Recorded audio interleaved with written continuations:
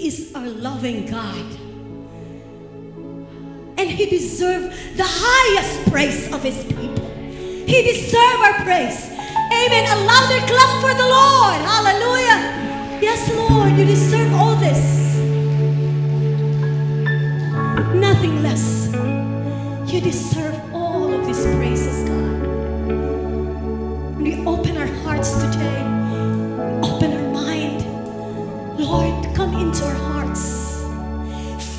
with your Holy Spirit today, Lord. Fill us, oh God. Hallelujah. Oh, let your presence fill this place, oh God. Hallelujah. We welcome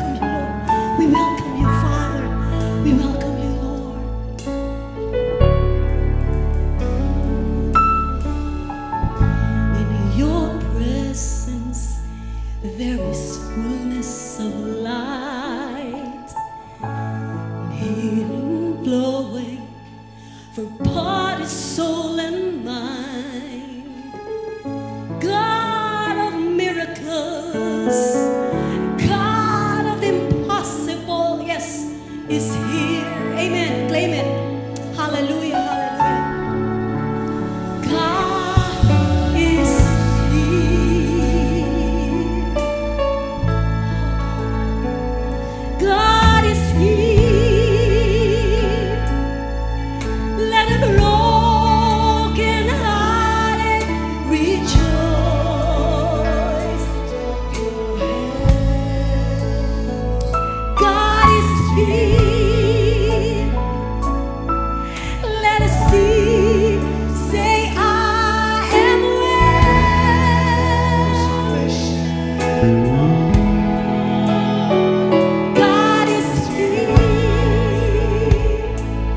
Let the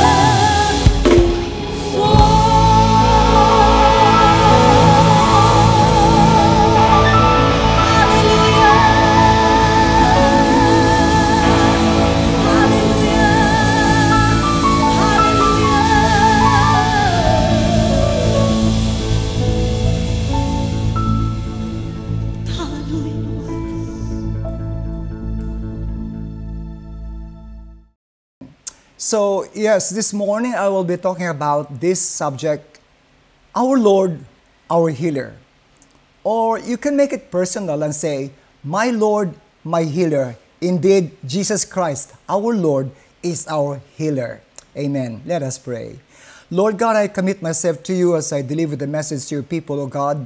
And I trust that the Holy Spirit moving now will truly open our eyes of understanding and encourage us, Lord, through this message today. In Jesus' name, Amen. Amen. My text is in Jeremiah 17, verse 14. I'll be reading from the New Living Translation. O Lord, if you heal me, I will be truly healed. If you save me, I will be truly saved. My praises are for you alone. If we will read it from the Living Bible translation, it says, Lord, you alone can heal me. You alone can save, and my praises are for you alone.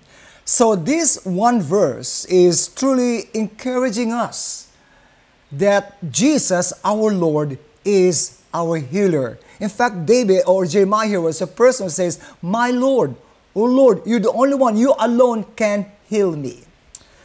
Now, I have this question How come, as human beings, we go through a lot of hardship, difficulties through sickness and diseases that oftentimes resulted to disability, if not death?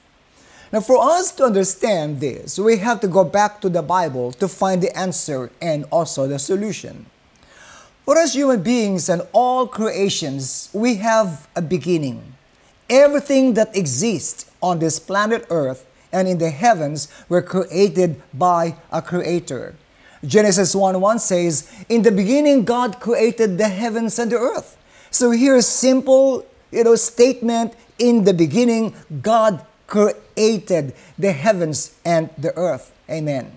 And in summary, God created everything in six days, including the creation of man.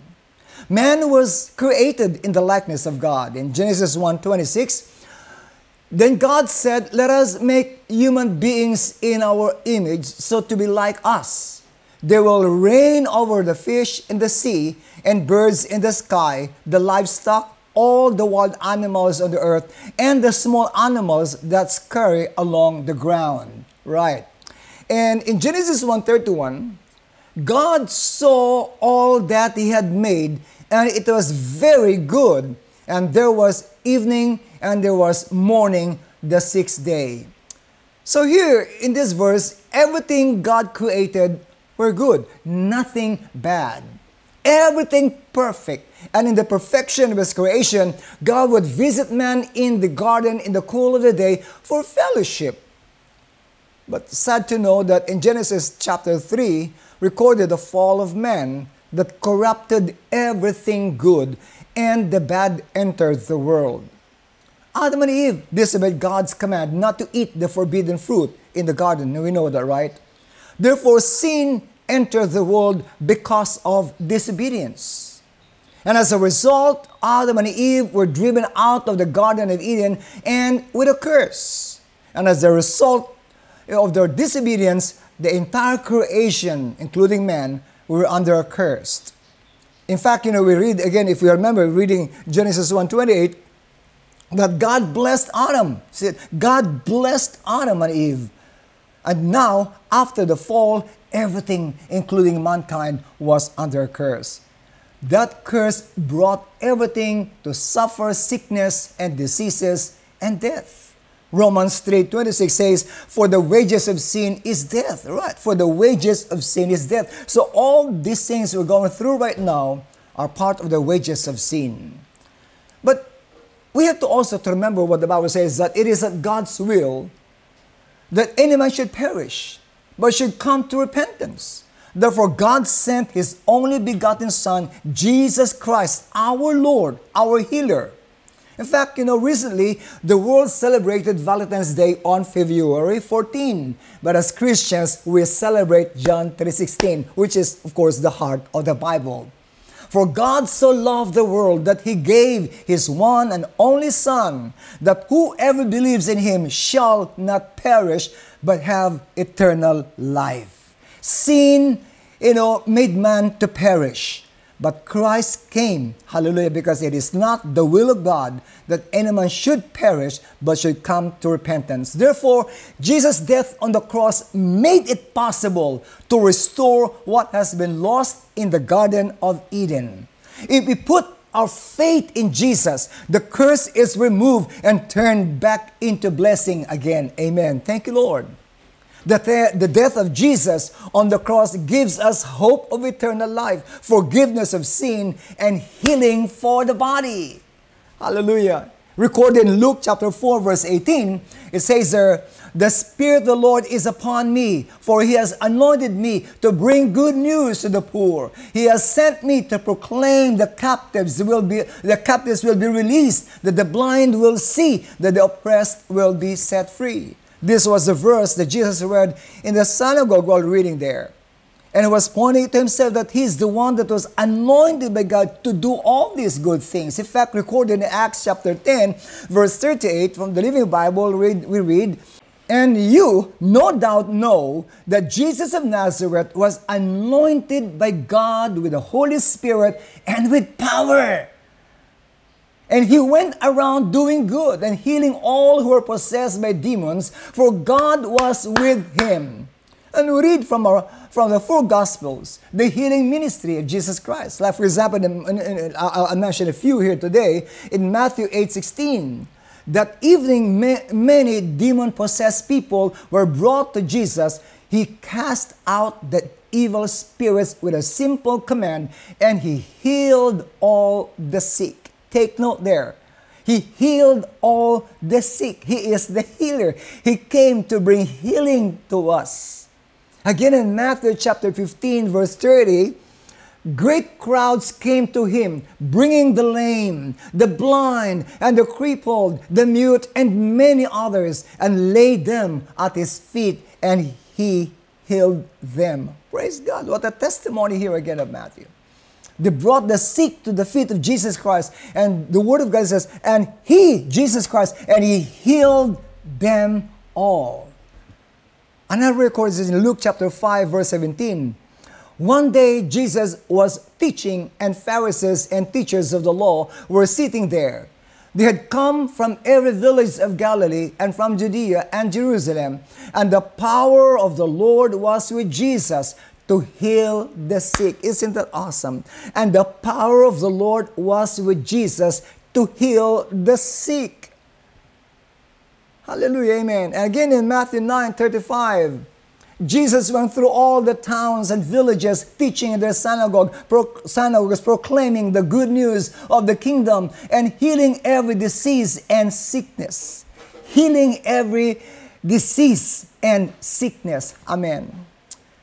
You know, these are but few of the many who were healed by Jesus Christ. And the question is can we experience healing today? Does Jesus still heal today? Of course, the answer is the resounding yes, Jesus still heals today. In Hebrews 13 8, we declare that Jesus Christ is the same yesterday and today and forever. Thank you, Lord. He never changes. The healing He did in the past, is healing it today, and He's doing it still tomorrow. Our Lord never changes. Amen. In fact, the death and suffering of Jesus assures healing for us. Isaiah 53, verse 5, referring to Jesus, now says, But he was pierced for our rebellion, crushed for our sins. He was beaten so we could be whole. He was whipped so we could be healed. Thank you, Lord. Amen. In 1 Peter chapter 2, verse 24, he personally carried our sin in his body on the cross so that we can be dead to sin and live for what is right. And by his wounds, you are healed. Thank you, Lord. Thank you, Jesus. Amen. I myself experienced so much healing. Hallelujah. Praise God. In the name of Jesus.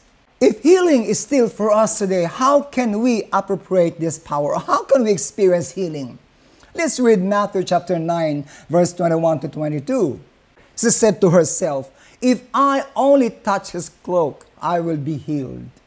Jesus turned and saw her, Take heart, daughter, he said, Your faith has healed you. And the woman was healed at that moment. Now, from her testimony or experience, the woman experienced healing by faith. Jesus said to her, Your faith has healed you. And the woman was healed at that moment. Amen. Praise God. In Hebrews 11, chapter 6, and without faith it is impossible to please God because anyone who comes to Him must believe that He exists and that He rewards those who earnestly seek Him. James 5 14 15 also says, Is anyone sick? He should call for the elders of the church, and they should pray over him and pour a little oil upon him, calling on the Lord to heal him. And their prayer, if offered in faith, will heal him, for the Lord will make him well. And if his sickness was caused by some sin, the Lord will also forgive him. So these few verses are read, one thing we need to come to the Lord for healing is faith. By faith, we receive our healing. And by faith, like this woman, you know, just touch the hem of Jesus Christ's uh, clothes and he was healed. And Jesus even commanded, Your faith has made you whole. So this morning, let faith arise if you're sick in body and if you need deliverance, if you need a touch from the Lord, let faith arise. Hallelujah. There's healing in the name of Jesus because we experience healing by faith in the healer, the Lord Jesus Christ. James 5:16 says there, "Therefore confess your sins to each other and pray for each other so that you may be healed. The prayer of a righteous person is powerful and effective." So again here from these following verses of the book of James, you know, we understand that confession also is necessary. Confession of our sin is crucial when receiving healing from the Lord. Sin hinders the power of God to heal. God will not withhold anything good, including your healing, for those whose walk is upright. Therefore, today, I believe Jesus will perform miracle in your life. Believe and you will receive. Amen. Accept Jesus as your Savior. Accept Jesus as you know your healer. Confess your sin to Him, and let us pray for your healing today.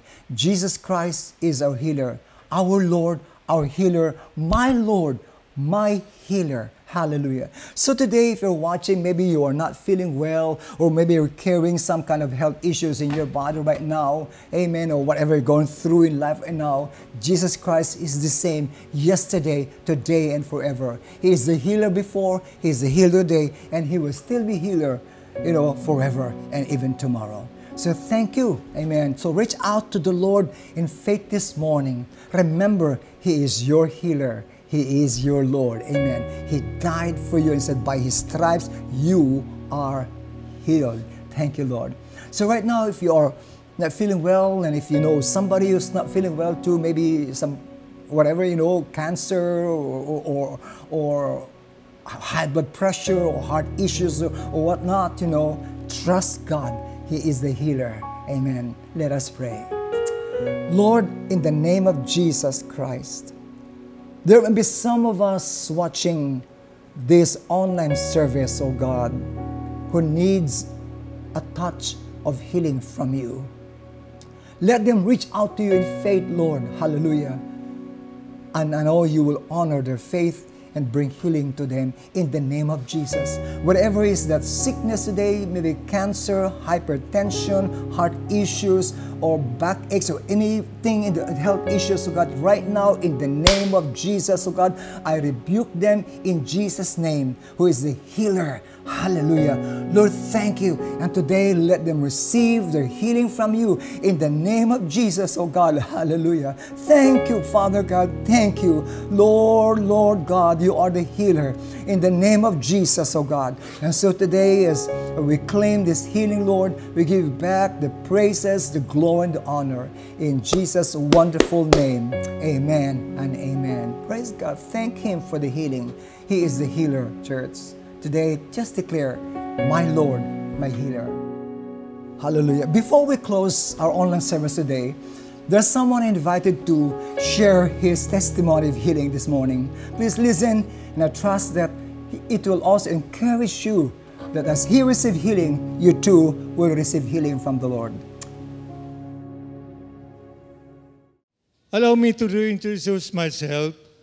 I'm Orly Tuason, Orlando Tuason in long term. I'm the husband of Sister Rodora, my lovely daughters, Cassandra and Claire Tuason. I'm so honored with you to stand with here in front of you with my brief testimony in healing from cancer. Yeah, hindi po natin maiwasan. So I used to take the risk with this, with this kind of diseases. And all is this, this was started last 2021 with the last quarter when I experienced diarrhea, a blood stool, rectal bleeding, and unexpected weighted loss. Nakikita nyo naman po, uh, marami sa, sa ating mga kakilala po sa akin, lalo na especially to the men's ministry.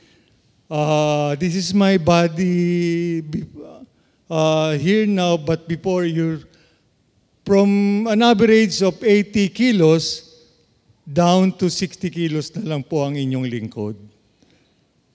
After having my colonoscopy, the doctor finally diagnosed me with stage 3 rectal cancer. But I am no so sad and I don't lose hope. Despite of the pandemic crisis, my family and I will pray with me and lifted everything to God.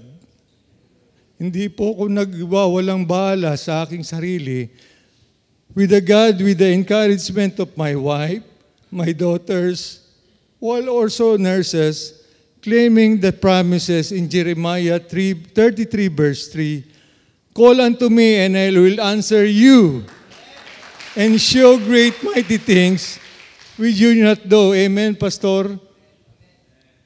Yeah? So we believe and trust to our Almighty God.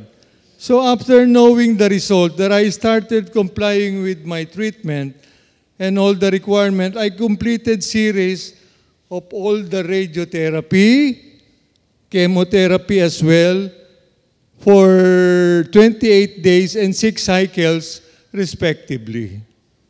However, I also experienced some complication associated with cancers such as dermatomyositis. This is such a disease of rare condition that my muscles are weakness and skin rashes.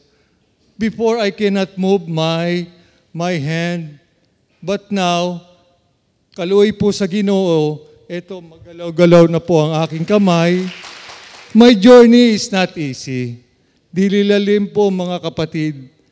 As I went through my ileostomy, my blood transfusion, my heart alec, my heart alec medication, and not only once, but twice in ICU admission.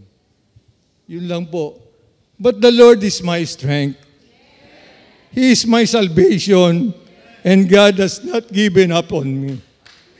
Last year, in the first quarter, March 22, I had my surgery and rectal tumor successfully removed by the grace of God. It was removed. And I just wondering, oh Lord, thank you, Lord. Thank you for the removal. Thank you, Father. Thank you, Jesus. So then, after one month in operation, ended with another session of chemotherapy. Chemotherapy, this was a six cycles of chemotherapy. And then my tumor marker, my tumor marker dropped from 140 to 4. To 4 na lang po marker. Again, maraming maraming salamat po, Panginoon. Hindi niyo po ako pinabayaan. My family also, thank you. My brothers and sisters, thank you with your prayer. My family was so grateful and blessed in every person who prayed for me. Maraming salamat po. Thank you for the sustaining me and battling with me throughout the entire journey. Thank you, God, for answering my prayer. And the scripture says in, thir- in Psalms 30, verse 2, Oh my Lord, my God, I called for your help, and you healed me. And now in Exodus 15:26, I'm the Lord who heals me, who heals also you, my brothers and sisters. Hindi po ako nag-iisa, hindi po kayo nag-iisa. Tayo pong lahat ay gagalingin po ng ating Panginoon Diyos. Maniwala po kayo. I proudly declare that by the I proudly declared by the stripe of Jesus we will be healed, mga kapatid. We will be healed.